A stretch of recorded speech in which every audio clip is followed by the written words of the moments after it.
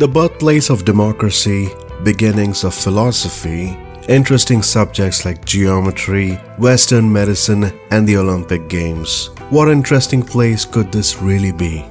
You guessed it right. At the Greek side of the world, teams like Orbx have set their eyes on a great location this week, witnessing a beautiful GA floating in the skies.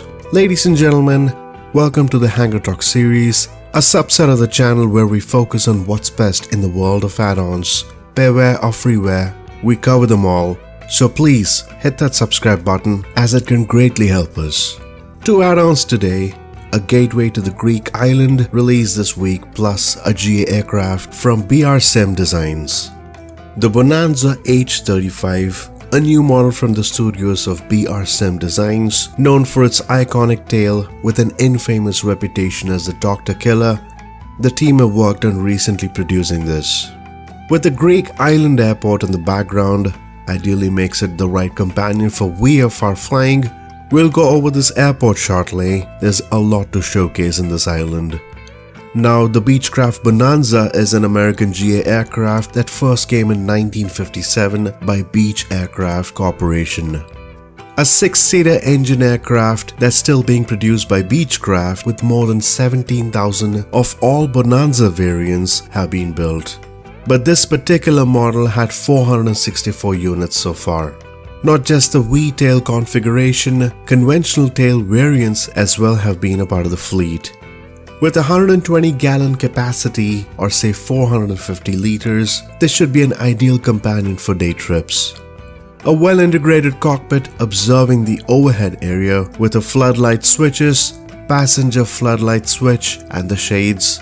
Towards the actual cockpit, we can observe plenty of instruments which have been functional and responsive throughout.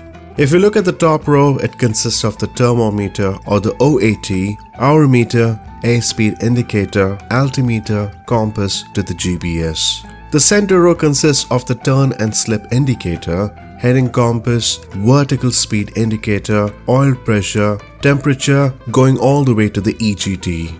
The bottommost row consists of indicators like the fuel quantity indicators, elevator trim indicator, cowl flaps, flap handle to the switches panel. The left side consists of different indicators from the touchpad, co-pilot controls, baggage door to the fuel selector located at the bottom. The fuel transfer system is something to note as the aircraft has extra wingtip tanks where the fuel from these tanks can be transferred to the main tanks through two electric pumps. This doesn't have an option for all or both tanks and is ideal to keep in mind when switching the fuel selector to not shut off the engine.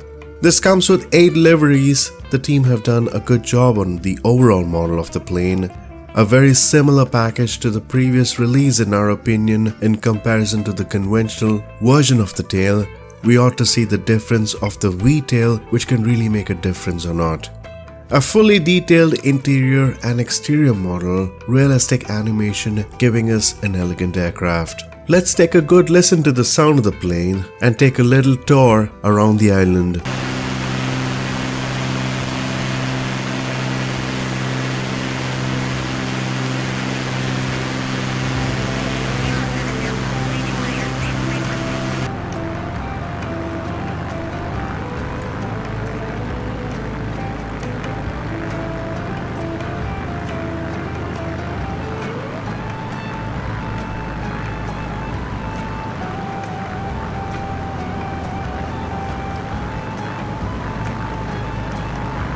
Performance wise, the flight responses felt great. While we fly in the area of the Greek island, let's look at how the airport has been produced and come back to the aircraft shortly. The Skiathos International Airport, mostly referred to as St. Martin of Europe, this has been a recent addition to the sim. Now Orbx has been in the flight simming business from quite a while. Doesn't really need an introduction on what they do. They've been supporting other platforms extensively, and with Microsoft Flight Simulator, this has been another great avenue for the team to be an advocate to the sim.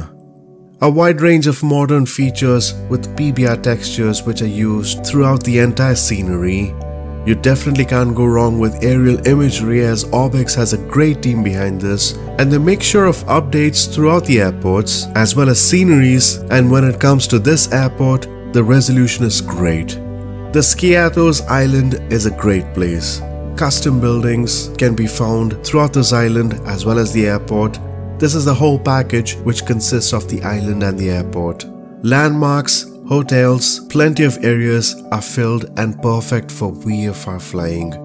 A highly detailed rendition of the airport with the latest set of imagery. It includes custom GSE and static aircraft, PBR textures and a lot more.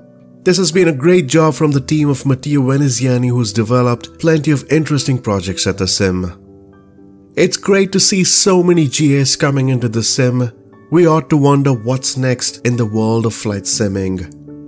We definitely had fun flying this aircraft and don't forget about the airport, give this a try. Both the links of the aircraft and the airport can be found in the description below. We certainly hope you liked this video do hit that subscribe button. This can always help us. Until next time, do take care and happy flying folks.